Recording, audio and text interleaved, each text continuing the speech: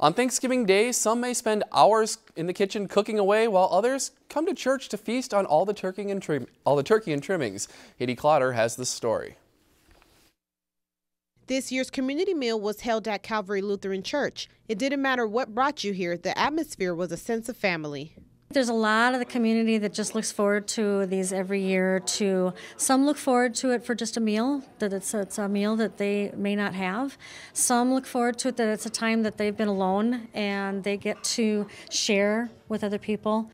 This event wouldn't be possible without the help from volunteers like Amanda Willis. For the past six years, she has spent Thanksgiving Day putting others before herself. Bemidji community is our family, and I like coming here and serving people and letting them know that someone's taking care of them, um, if nothing else, for one day a year. The dining room was full of people talking, enjoying themselves, and most of all, the food. My favorite food today was the was the dressing. Mashed potatoes, corn, homemade stuffing, and turkey was on the menu. Jeffrey Turner is from across the pond in Australia. Although Thanksgiving is not a tradition in Melbourne, he felt at ease in Bemidji. Very nice, the food, the turkey, pumpkin pie. It's not the pumpkin pie that I'm thinking of, it's more of a sweetie type pumpkin pie. Because pumpkin to me is a vegetable, it's not a sweet. For more than 20 years, Patricia Caustadius has been associated with the Bemidji Community Meal by volunteering or indulging in the feast. It's been a tough year for Patricia, having knee replacement surgery, but that didn't bring her spirits down.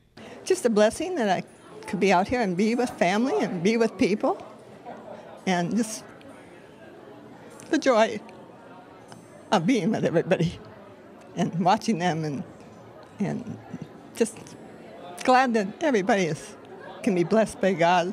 Guests had plenty to be thankful for. I'm very thankful for my daughter and for my family and all my friends the love of the Lord Jesus Christ in this country. About 650 meals were distributed today. Happy Thanksgiving to you all. In Bemidji, Haiti Clotter, Lakeland News.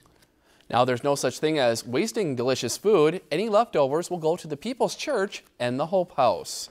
If you've enjoyed this segment of Lakeland News, please consider making a tax-deductible contribution to Lakeland Public Television.